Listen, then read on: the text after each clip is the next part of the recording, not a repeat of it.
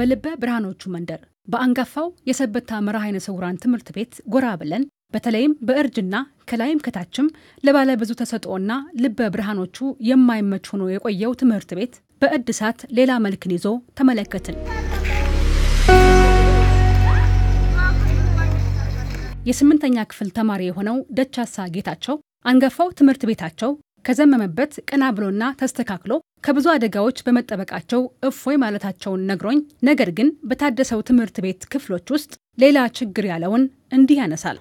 በወንበሩ በጣም እየተቸገረን ነበር። እንደውም ለሁለት ራሱ እየተቀመጠን ነበረ። ሌላ ደግሞ አሁን ለምሳሌ አንደኛ ክፍል ለምሳሌ ስምንተኛ ክፍል ውጭ በሆነ ወይ ሙዚቃ ወይ ደግሞ እጅ ስራ ልንማር ልንሄድ ብንሄድ ማለት ነው። ከዛን ልጆች ደግሞ መጥቶ ይወስዱብናል ያን ወንበር ማለት ነው። ስንመጣ ደግሞ እንቸገርና ከዛን በቃ እስከ ቆመ መማር ደርሰን ነበር።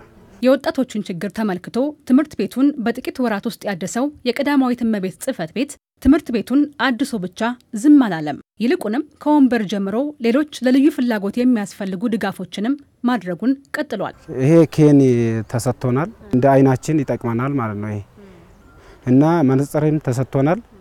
እሱም ደግሞ ጥሩ ነው። እኔ ራሱ አሁን ለምሳሌ ተሰብሮብኝ አልገዛው ነበር። አሁን ግን ከተሰጠኝ በኋላ ሌላ ሀሳቤ የለኝም። አሁን ትምህርቴን ብቻ ነው የማስበው። ኬን ማለት ለኛ አይናችን ማለት ነው። ኬን ካልያዝን መንቀሳቀስ አንችልም። ኬን ካልያዝን ወዲህ ማለት አንችልም። ስለሆነ ኬን በጣም ያስፈልገናል። ኬን ደግሞ አሁን እየተሰጠን መነጽርም በጣም ብዙ ነገር እየተረዳን ነው እና ብዙ ለውጥ አለው። አሁን በቅርብ ቀዳማዊ እመቤት ከጎበኙን ጀምሮ በጣም ብዙ ለውጥ አለ። አዲሱ ቀዳማዊት ያመጡት ወንበር ማለት ነው። በጣም ደስ የሚል አርምቼር ነው። እንደዚህ እንትናቸው ስታይለሳቸውን አስቀምጠውበት የሚጽፉበት ነው።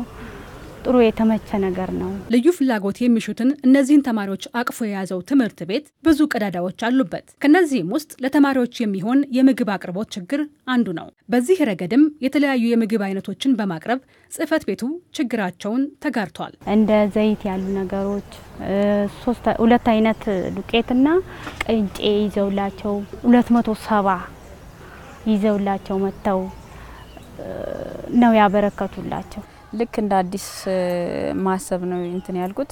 ለምን በቃ ለካ ሰው የሚያስበን ሰው አለ፣ ለካ የሚረዳንም ሰው አለ፣ የሚጎበኘንም ሰው አለ የሚለውን ነገር አስበን አሁን ሙሉ ተስፋ አለን ማለት ነው። በሰበታ መርሃ ስውራን ትምህርት ቤት የተደረገው የቁሳቁስና የምግብ ግብዓቶች ድጋፍ ሌላ የእርዳታ እጆችን በሚሻው የህፃናት ማሳደጊያም ተከናውኗል። በ12 ሚሊዮን ብር የወይዘሮ ዘውዲቱ መሸሻ የህፃናት ማሳደጊያን ገንብቶ ያስረከበው የቀዳማዊት እመቤት ጽሕፈት ቤት አሁን ደግሞ ከሶፋ ጀምሮ እስከ ምግብ ማብሰያዎችና የህፃናት መጫወቻዎች እንዲሁም አልጋዎች ድረስ ድጋፍ አድርጓል። በማሳደጊያው የምትኖረው ታዳጊ ራሄል ተስፋም ስሜቷን እንዲህ ነገረችኝ። በጣም ደስ ብሎናል። comfort ይዘውልን መጥተዋል። መጫወቻ ይዘውልን መጥተዋል። የሽንት ቤት ነገር ሁሉንም አሟልተውልናል። እኛ አሁን ሁላችንም ደስተኛ ነን። የቀዳማዊት እመቤት ጽሕፈት ቤት በተለየ በአረጋውያን፣ በወጣቶች፣ በታዳጊዎችና በአካል ጉዳተኞች ላይ ሰፊ ስራዎችን እየሰራ ይገኛል። ከሌላው በተለየ በእነዚህ የህብረተሰብ ክፍሎች ላይ ጽሕፈት ቤቱ ትኩረት የማድረጉ ምክንያት ከፋና ቴሌቪዥን ጋር ቆይታ የነበራቸው ቀዳማዊት እመቤት ወይዘሮ ዝናሽ ታያቸው አጋርተውናል። አንደኛ ውስጥ ያለ ነው በጣም የሚያስደስተኝና የእነሱን ደስታና ፍላጎታቸውን ትንሽም ብትሆን ስንመልስና ያው ለአንድ ሰው መፍትሄ መሆኑ ደግሞ ትልቅ ነገር ነው። እሱና በትልቁ ደግሞ እግዚአብሔር የሚወደው ነገር ስለሆነ ነው።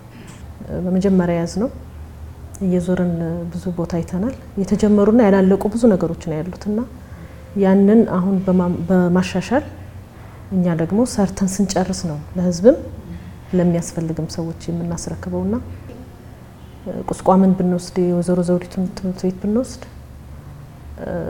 ቤታቸው ተቃጥሎባቸዋል። ምንም ግብአት የላቸውም። ከሚያገኙት ከሰው ከሚያገኙት ነገር ነው ለልጆቹ የምግብ የሚያስፈልግ ነገር የሚያደርጉትና ያንን በማየት የሚያስፈልጋቸውን ነገር ቁሳቁስ በሙሉ ግንባታውን ብቻ አይደለም የሰራ ነው። አልጋ፣ ብርድ ልብስ የሚያስፈልገውን ነገር የምግብ መመገቢያ፣ የኪችን ቁሳቁሶች በሙሉ ረድተን አሟልተን ነው ያስገባናቸው። ወጣቶቹ ለእነርሱና ለጓደኞቻቸው በተደረገው ሁሉ ምስጋናቸውን ሲገልጹ በደስታ ነው። ቀዳማዊት እመቤት ወይዘሮ ዝናሽ ታያቸውም የተማሪዎቹን ደስታና ቀጣይ ተስፋ አብረዋቸው በመሆን እንደሚጋሯቸው ገልጸውልኛል። ቀዳማዊ እመቤት ዝናሽ ስላደረጉልን በጣም በጣም አድርገን ነው የምናመሰግነው። ብዙ ቦታ እስከምንደርስ እንደሚረዱን ተስፋ እናደርጋለን። በጣም ነው ምስጋና እጅግ የላቀ ነው። ቀዳማዊት እመቤት በጣም ነው የማመሰግናቸው እነሱን ማለት ከዚህ በፊት ማንም እዚህ መጥቶ ያየን የለም ማለት ነው። ከነሱ ውጭ ማንም ያላየን ቦታ እዚህ መጥቶ ብዙ ነገር እዚህ ይሄንን ቤት መስራት ቀላል አይደለም። ሰው አለ በቃ ብለው ያስባሉ። ብቻችንን አይደለንም የሚል ነገር ይሰማቸዋል። ብዙ ማሟላት ባንችልም ግን ትንሿ ነገር አሁን ትንሽ ነገር ነው የሰጥናቸው፣ ግን በጣም ተደስተው ሳይ ደስ ብሎኛል። ነገር ግን ደግሞ ያልተሟላላቸው ነገር አለ እና እሱን ሳይ ደግሞ ወዲያው ማድረግ ስለማልችል ያው እንደ እናት ውስጤ እያዘነ ደስ ብያለው። ደስታቸው ደስ ብሎኝ ቅድም እንዳልሽው ተጀምሮ እንዳይቆም በጀቱ ሙሉ ካገኘን በኋላ ነው ወደ ስራ ገብተን ለሰዎች የሚደርስ ነገር ነው የምንሰራውና ቀጣይ እንግዲህ እግዚአብሔር ከረዳን የምንቀጥልበት ድጋፍ ለሚፈልጉትም ድጋፍ የምንሰጥበት ፕሮጀክት አለን። ብዙ ፕሮጀክት አለን። ከውጭ ከማገኛቸው ፈንዶች ነው እንደዚህ ለምሰራቸውና ብዙ ከሀገር ውስጥ እስካሁን ያገኘሁት ድጋፍ የለም። ጥሪ አድርጌያለሁ ባለፈው፣ ግን ያገኘሁት ድጋፍ የለም። ግን ቢያደርጉ ደግሞ ለእነሱ ደስታ ይሆናልና ቢሆን መልካም ነው።